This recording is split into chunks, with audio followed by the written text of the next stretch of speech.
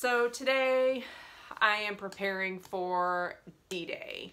I've got five days to um, prepare for uh, Red Devil number four, and I almost feel like I am nesting to some extent. Um, so I have my D-Day prep list, and so knowing what I'm preparing for to be really down and out next week, um, I have number one, confirm with Amanda that she's not going out to meet her friend Victoria for a glass of wine and then not returning until the next day. So I'm like, I need you um, to be available this weekend. So check that off the list. She has confirmed she has no plans.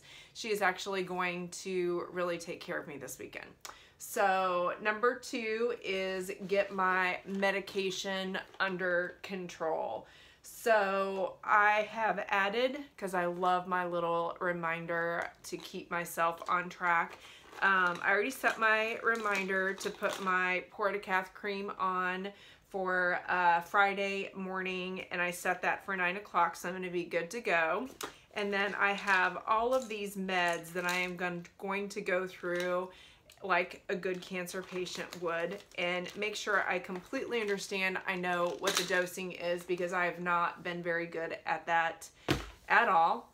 Um, so I'm gonna have that under control. Number three is, um, you know, sometimes the videos are really hard for me to do post chemo because I'm just not feeling really well.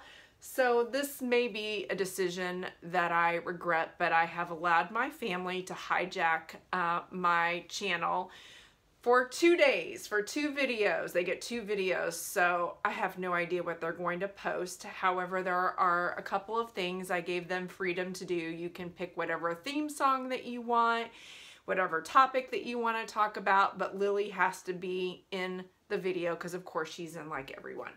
So those are the only rules. And so that's going to be next week as well. And then um, other than just working in advance on a few things uh, for next week for client work that I need to do, um, just kind of, you know, when I have my good weeks, I just really knock stuff out. So this is my work week that is just going to be very focused. And then number six, I have to order wig stands. My wigs are totally out of control. They're laying like on coat racks and then you walk into a room and then there's like, like you're talking to somebody or somebody is there and it scares the crap out of me. So um, number six is order wig stands. So I'm going to kind of check through my D-Day prep this week and certainly um, be grateful for feeling well. It's amazing how quickly the body can recover. I had um, some mouth sores that I was concerned about on Sunday and like literally less than 24 hours, they're completely gone. So um, the body's rate of recovering very quickly and coming back from, um, you know, just chemotherapy in general and all these things.